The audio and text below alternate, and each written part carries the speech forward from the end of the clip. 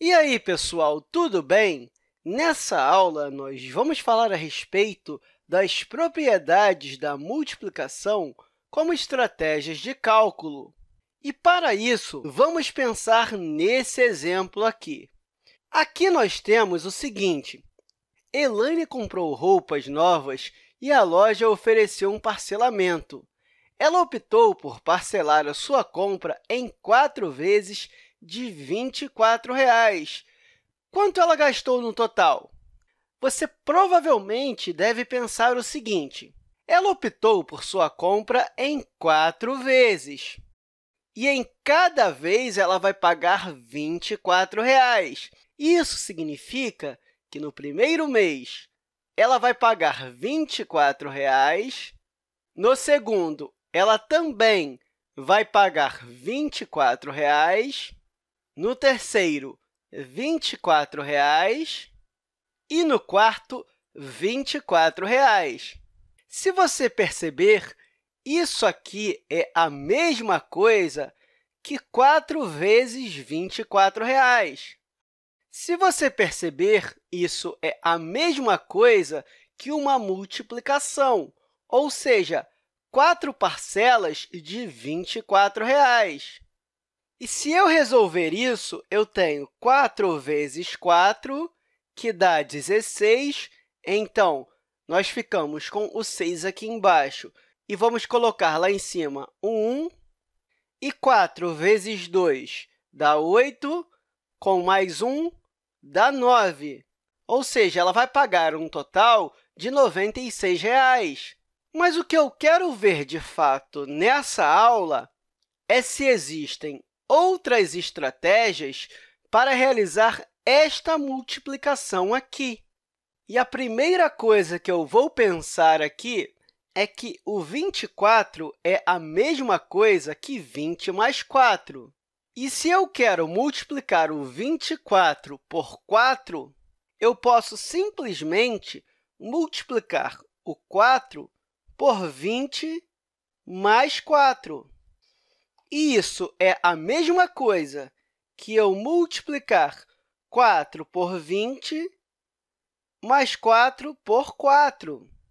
E nós sabemos que 4 vezes 20 é a mesma coisa que 80, e 4 vezes 4 é a mesma coisa que 16.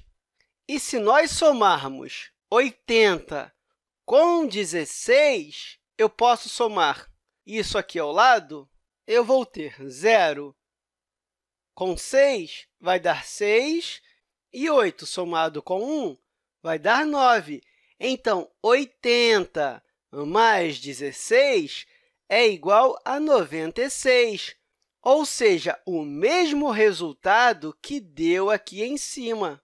Vamos pensar agora de outra forma.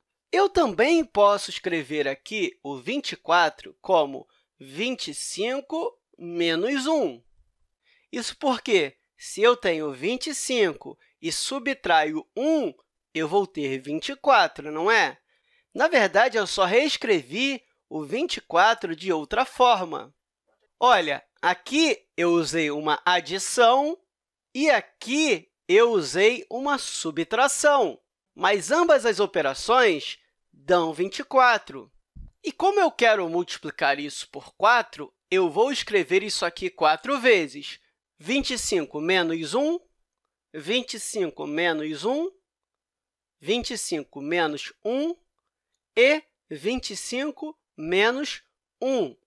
E se você perceber, eu tenho o 25 aparecendo quatro vezes. Então, 25 vezes o 4, e 4 vezes 5 é igual a 20, ou seja, fica o zero aqui e sobe 2. 4 vezes 2 dá 8, com mais 2 dá 10, eu posso colocar direto aqui. E também 1 aparece quatro vezes. Então, 1 vezes 4 dá 4. Observe que a multiplicação dessas parcelas aqui dá esse resultado, ou seja, 100. E a multiplicação desses números aqui dá 4. E observe que aqui eu estou fazendo uma subtração. E, por isso, eu tenho que fazer a mesma coisa aqui. Então, 100 menos 4, que é igual a 96.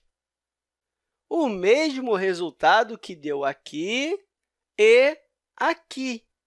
Mas, claro, você não ia precisar fazer tudo isso aqui.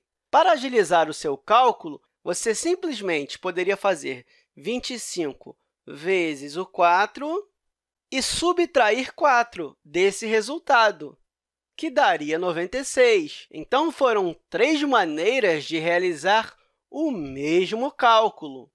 E esse é o objetivo dessa aula. Você pensar que, em uma multiplicação, às vezes tem uma estratégia mais rápida de te dar o resultado de um cálculo. Então, no total, a Elaine gastou 96 reais. Mas é isso aí, pessoal. Até a próxima aula!